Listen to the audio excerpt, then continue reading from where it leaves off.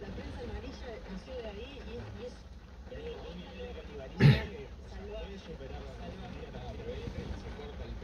Ah, los cagaron.